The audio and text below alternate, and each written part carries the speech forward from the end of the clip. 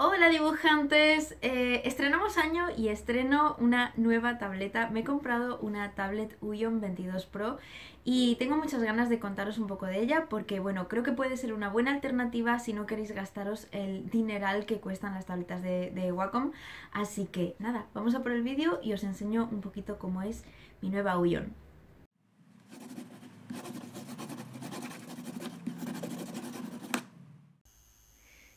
Aquí está mi nueva tableta Uyon de 22 pulgadas. Lo primero que os cuento es un poco por qué la he cambiado. Yo tenía una Cintiq 13 HD que iba genial, de hecho va genial, si la enchufo funciona perfectamente, pero se me hacía demasiado pequeña. Entonces ahí habéis visto la diferencia de tamaño que es abismal.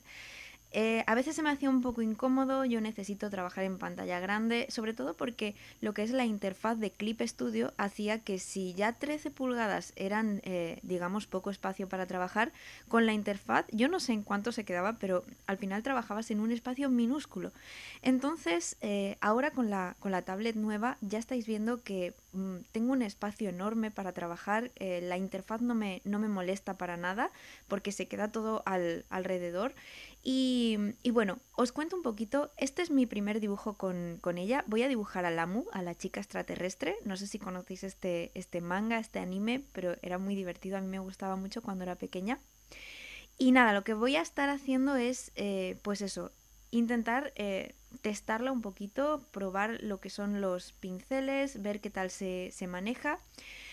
Y vais a ver que hay una eh, evolución, no sé si lo vais a notar, desde los primeros trazos hasta los últimos, porque realmente siempre que se cambia de, dispositivo, no importa que sea el mejor, dispositivo, el mejor dispositivo del mundo, siempre que cambias de, dispositivo vas a notar que hay una sensibilidad diferente, que el trazo te resulta difícil, ¿vale? No te desesperes si es la primera vez que trabajas en digital y te compras una nueva tableta, o si ya has trabajado en digital y estás acostumbrado a usar mm, la que sea y de repente cambias a otra, no te desesperes, no pienses, madre mía, he tirado el dinero, eh, esto no lo sé manejar, no me voy a adaptar a esto, te aseguro que lo único que necesitas es un poquito de práctica y generalmente en unas cuantas horas, eh, como mucho un par de días, te has adaptado perfectamente a la nueva sensibilidad del lápiz y a, los nuevos parámetros que, tengas. Esta, por ejemplo,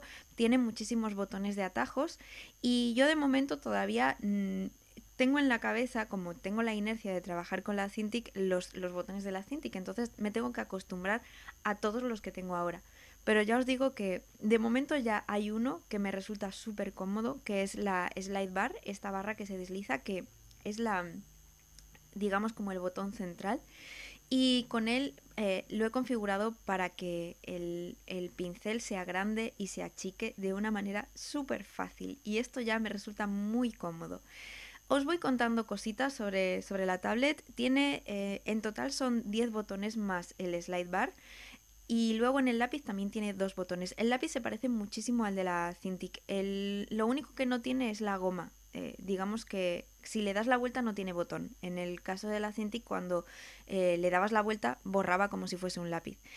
Aquí no tiene ese detalle, pero por lo demás también tiene dos botones que yo siempre los he utilizado para el zoom y para mm, mover el lienzo.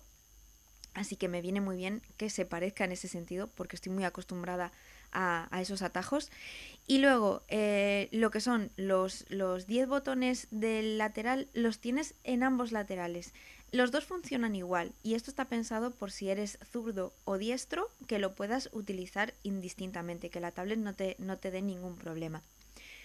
Más cositas, eh, el tema de los atajos se configura súper fácil. Una vez que tú eh, enchufas la, tablet, te bajas los drivers de, de la página oficial y es facilísimo, en serio. Yo no tardé en configurarla ni 10 minutos. Ha sido mm, sencillísimo. Más cositas interesantes con respecto a la tableta. Por ejemplo, eh, viene con, con, lo que es el lápiz, con un soporte para dejarlo muy cómodo, que dentro tiene un montón de puntas. No he contado cuántas vienen en total, pero tiene, no sé, ahí podrá haber 8, mm, 10, muchas puntas. Y luego aparte tiene otra bolsita con otras por lo menos 8, 9 o 10 puntas más. Así que no os preocupéis que sin puntas no os vais a quedar. Luego, eh, otra cosa que me ha gustado mucho es que este lápiz es de los de última generación de, de Uyon. Antes los lápices de Uyon se tenían que cargar y eso era un poco incómodo. De hecho, te solían mandar dos para que mientras estabas cargando uno pudiese seguir trabajando. Bueno, eso ya con las últimas tablets de, de Uyon se ha terminado. Ahora ya el lápiz de Uyon es exactamente igual que el de la Cintiq, no hace falta cargarlo, siempre funciona. Y luego te viene con dos guantes que vienen muy bien para, para proteger la, la, pantalla. Por ejemplo, yo eh, uso la alianza con la mano derecha y el otro día me lo dijo un chico, ponte guante que si no puedes rayar la, la pantalla sin darte cuenta con, con el anillo. Otra ventaja genial que le veo a esta tableta es que viene con el soporte para regular la altura incluido. Eh, esto por lo visto en, en, muchas tablets de Wacom no te lo incluyen y yo por, por, ejemplo en la que tenía pequeña sí que incluían un soporte pero era bastante malo. A mí no me gustaba nada. De hecho alguna vez se me caía, no encajaba bien, se me soltaba. Eh, este sin embargo va atornillado y lo que es la tablet te queda perfecta y además se regula muy muy fácilmente. Y por supuesto no puedo dejar de hablar del precio porque al final es eh, la relación calidad-precio es lo mejor que tiene Uyon. En este caso esta es de sus tabletas más caras porque yo lo que quería era algo súper profesional y que no me fallara. Y me he ido a... me parece, no sé si es la más nueva que tienen o de las más nuevas, pero sí que me ha costado lo mismo o incluso un poco menos esta de 22 pulgadas que la Cintiq de 13 pulgadas pequeña que yo me compré hace mmm, pues como 5 años. ¿Vale? Eh, aproximadamente la Cintiq me costó más de 800 euros. Además luego tuve problemas con ella, necesité un ordenador nuevo. Bueno, en total creo que me gasté aproximadamente mmm, unos mil y pico euros en, en ella. Y sin embargo, esta tablet me ha costado menos de 800 euros y ya os digo que relación calidad-precio me parece fascinante. Os cuento, eh, para la gente que pueda decir, es que son muy caras. Sí, es cara, pero eh, una Wacom de, de este tamaño te cuesta de 2.000 a 3.000 incluso 3.500 euros, ¿vale? Para que veáis un poco la, la, diferencia. Realmente te sale como tres veces más barata y, y, va muy bien. Bueno, habéis visto por ahí que tenía una muñequita de Lamu que era la que estaba utilizando un poco para, para guiarme en los colores y, y en la pose. No sé si vais apreciando cómo poco a poco realmente yo me voy haciendo ya perfectamente a, a lo que es la sensibilidad del, del, lápiz, de lo que son los trazos, cada vez los voy haciendo eh, mejor hasta que ya llega un momento en que ni siquiera noto que estoy trabajando con, con una tablet nueva. Es muy rápido lo, lo que lo que tardas en adaptarte a un nuevo dispositivo. Eh, insisto en que si te compras un dispositivo nuevo, no desesperes. Siempre da la sensación al principio de que, no sé, que parece que, que has tirado el dinero, que te has equivocado, que que mm, ese dispositivo no está hecho para ti, pero de verdad que no es así. A mí me ha pasado con todos los dispositivos digitales que he probado y siempre he necesitado un pequeño periodo de adaptación. Incluso cuando me compré la Cintiq, incluso cuando me compré el iPad. Si es tu primer dispositivo digital o si cambias de marca, no te preocupes, que eh, al principio te va a costar un poquito, pero verás cómo te haces a él. Y ya por último voy a contestar algunas preguntas que me han hecho algunos amigos eh, y algunos seguidores cuando comenté que, que, iba a cambiar de dispositivo. Uno de ellos, por ejemplo, era que si esto era una tableta tipo el iPad, eh, que pudieses llevártela, que fuese independiente, digamos, que te pudieses poner en cualquier lado a trabajar con ella sin necesidad de conectarla a un ordenador. Y no, ¿vale? Esto es un dispositivo de, hardware, esto necesita estar conectado al ordenador para, para poder trabajar con, con, ella. También me han preguntado si se nota mucho la diferencia de sensibilidad del, del lápiz con respecto a Cintiq y con respecto al iPad. A ver, yo os digo que de los tres, el mejor lápiz de todos y el que tiene mejor precisión es el iPad, sin lugar a dudas, eh, el Apple Pencil. Y, mm, y, luego iría la Cintiq. Eh, realmente la tecnología de Wacom es muy buena. Pero aún así, aquí te adaptas muy rápido. Tiene un poquito menos de sensibilidad, pero te adaptas rapidísimo a ella.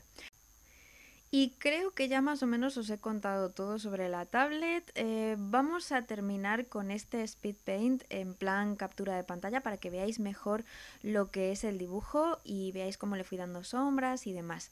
Lo que es la pose la saqué de una figurita que me ha regalado uno de mis mejores amigos, Pedro, que me ha encantado. Esta colección de figuras se llama Cuposket, os dejaré el nombre por aquí abajo y bueno, ya veis que son preciosas porque tienen una carita súper dulce.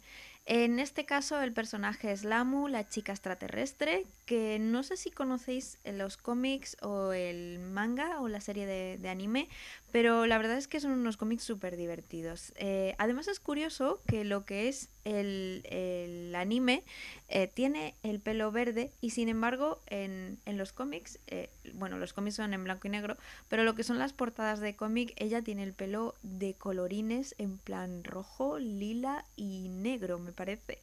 Y lo que es la figurita de Cuposket te la venden tanto en la versión de pelo verde como en la versión de mm, ese pelo arcoiris. Como veis, bueno, aunque me he inspirado en lo que es la figura, no es una copia. A mí me gusta inspirarme, pero no copiar. Entonces, eh, bueno, eh, yo la he hecho con mucho más volúmenes, eh, más sonrisa, más cartoon. Ella es más manga, yo la he hecho un poquito más cartoon, más a mi estilo.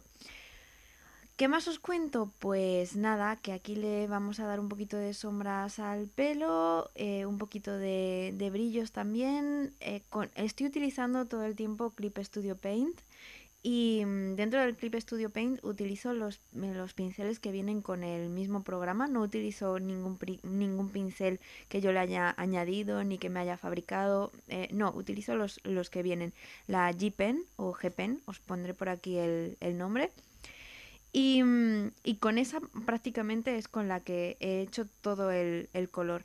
Para el fondo utilizo un pincel de, acuarela y, luego con el aerógrafo doy unos pequeños puntitos y ya está listo. Aquí tenemos nuestro dibujo del amo terminado. Y mi opinión final sobre la marca Uyon es que realmente hacen muy buenas tabletas. Eh, no os preocupéis si os parece demasiado cara porque tiene tabletas más económicas, pero la marca merece la pena. Y hasta aquí el vídeo. Eh, feliz año a todos, que apenas he podido estar en redes sociales en estas navidades. Eh, deciros que nada, que este año que, comienza pues tengo muchísimas ganas de seguir con, YouTube y, que todos los jueves intentaré que haya nuevo vídeo. Eh, espero que os gustara el especial de directos que hubo en Navidad. Si puedo más adelante haré algún que otro especial directos. Si no, mientras tanto, pues os recuerdo que a través de mi Patreon se pueden ver todos los directos y estar prácticamente todos los días trabajando eh, conmigo a través, a través de los directos, a través del chat, me podéis estar hablando, mm, haciendo preguntas, lo que queráis. Un besote a todos, nos vemos la semana que viene y ya sabéis, dibujad mucho. Chao.